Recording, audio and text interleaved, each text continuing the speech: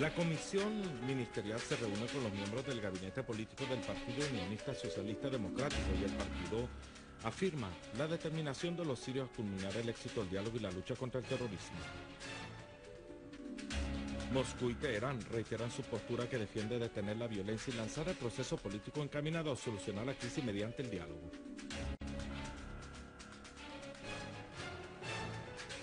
Nuestras Fuerzas Armadas siguen con éxito su ofensiva contra los terroristas en las campiñas de Damasco, Dar hay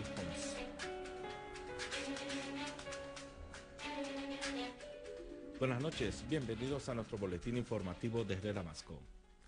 La comisión ministerial encargada de aplicar el programa político encaminado a resolver la crisis siria encabezada por el primer ministro Wael al-Halaki se reunió con los miembros del buró del partido político de la Unión Socialista Democrático presidido por Fadel Allah Nasser, secretario general del partido. Doctor al-Halaki destacó ante la delegación que el pueblo sirio ha elegido su camino y está determinado a participar en el éxito del proceso del diálogo y a luchar contra el terrorismo para restablecer la seguridad y la estabilidad de nuestro país e iniciar el proceso de construcción. El primer ministro denunció los atentados terroristas que tuvieron lugar en la ciudad de Reyhali e hizo hincapié en que los responsables de dichos ataques terroristas cobardes son los órganos pertenecientes al gobierno de Recep Tayyip Erdogan. Asimismo señaló la necesidad de que los partidos del Frente Nacional Progresista y todos los partidos nacionales deben promover la cultura del diálogo entre los ciudadanos, renunciar a la violencia y luchar contra la ideología takfiri. Por otro lado, Al-Haliker afirmó que el gobierno es serio, honesto y abierto a todas las fuerzas políticas y civiles y a la oposición que creen en la solución nacional.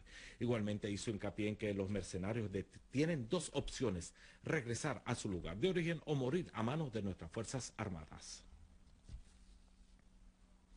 Moscú dijo que Siria ha elogiado los esfuerzos desplegados por la parte rusa para solucionar la crisis en el país árabe, haciendo énfasis en los planes de la celebración de una conferencia internacional de paz sobre Siria. La Cancillería rusa informó que el vicecanciller Miguel Bogdanov examinó con el embajador sirio en Rusia, Riyad Haddad, la situación actual en Siria, donde el titular sirio manifestó su valoración a los esfuerzos por la parte rusa por alcanzar un arreglo urgente a la crisis siria en base de la Declaración de Ginebra y la convocatoria a una conferencia internacional paz. Por otra parte, Rusia e Irán afirmaron la necesidad de suspender todas las formas de violencia en Siria y lanzar el proceso político con la participación de los sirios mediante un amplio diálogo. El viceministro de Relaciones Exteriores cubano Rogelio Sierra dijo que su país se opone rotundamente a cualquier agresión directa o indirecta en Siria. Asimismo expresó que se opone a la manipulación política a la crisis siria en la arena internacional, llamando a la comunidad mundial a que respete el derecho del pueblo sirio a la autodeterminación, la soberanía y la integridad territorial. De igual modo subrayó que la solución en Siria debe ser autónoma. El cardenal San Butros Bshara Array, patriarca de Antoquia y todo Oriente para los maronitas, invitó a asentar la paz en Siria y la región de Oriente Medio, pidiendo de la comunidad internacional asumir sus responsabilidades en este sentido. Durante un acto de acogida a su honor en la capital venezolana Caracas, Arraez señaló que la postura de algunos estados que estimulan la guerra y no trabajan por la paz son posturas inaceptables e ilógicas. El cardenal expresó sus deseos de que se logre poner en libertad a los dos arzobispos secuestrados por los grupos terroristas en la campiña de Alepo. Y en la campiña de Alepo, precisamente en la aldea de Aindakna y cerca del Centro de Investigación Agrícola en el poblado de Mink, una serie de guaridas fueron destruidas y eliminados los terroristas y las armas y las municiones en las mismas.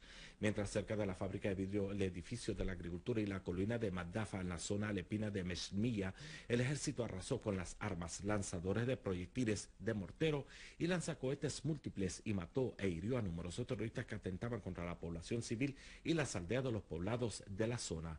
Y en la ciudad de Alepo el ejército se enfrentó con los terroristas que llevaban a cabo actos de saqueo, pillaje y intimidaban a la gente cerca del centro de salud de Bustán el Cácer y el complejo de la escuela de Sheikh Maksud, al igual que en la periferia de la zona y los talleres y las fábricas del Lermún, y dejó a un gran número de muertos y heridos en las filas de los terroristas.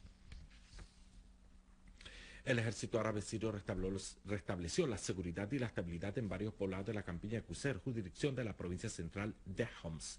El logro más reciente se produce en la aldea de Damina Garbía, donde fueron abatidos los últimos reductos y zulos de los terroristas en esa zona. Una fuente responsable informó sobre el desmantelamiento de decenas de artefactos explosivos y diferentes pasos y destrucción de las guaridas llenas de armas y municiones en esa localidad campestre.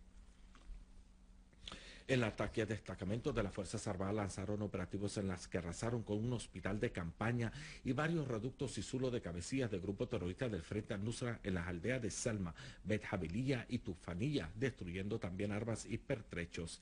Y entre los terroristas eliminados figuran un libio, un saudita y un egipcio. Un grupo terrorista fue abatido en el campo de la provincia norteña de Idlib mientras intentaba lanzar un ataque contra el aeropuerto de Abu Duhur. La misma fuente añadió que unidades de las Fuerzas Armadas salieron al encuentro de los grupos terroristas e intentaron atacar el campamento de la Juventud de la Revolución y la fábrica de ladrillos en la campiña de la provincia, infligiendo bajas y heridas a los terroristas. Y en la periferia de ese campamento las Fuerzas Armadas destruyeron un tractor minado con 7 toneladas de explosivos y dos vehículos artillados con ametralladoras pesadas.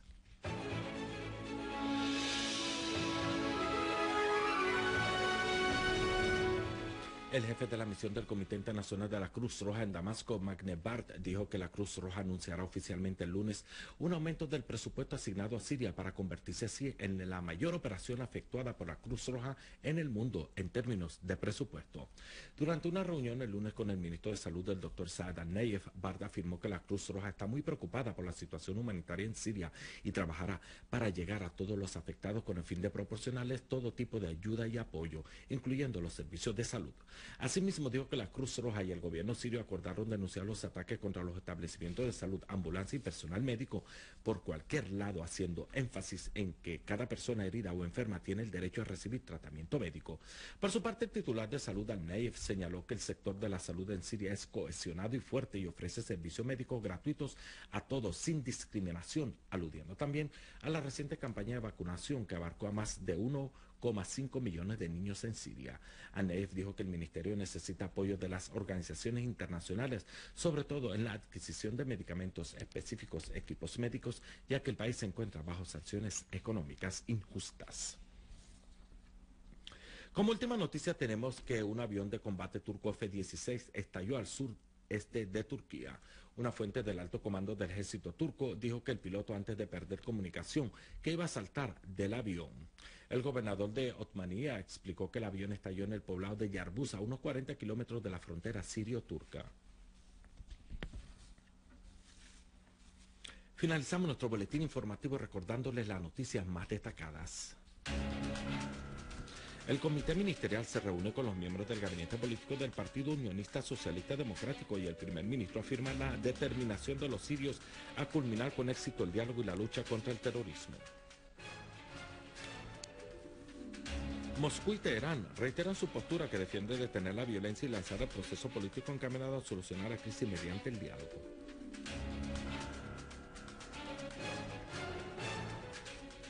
Nuestras Fuerzas Armadas siguen con éxito su ofensiva contra los terroristas en las campiñas de Damasco, Dar'a y Homs. Esto ha sido todo por hoy. Gracias por habernos acompañado y hasta mañana.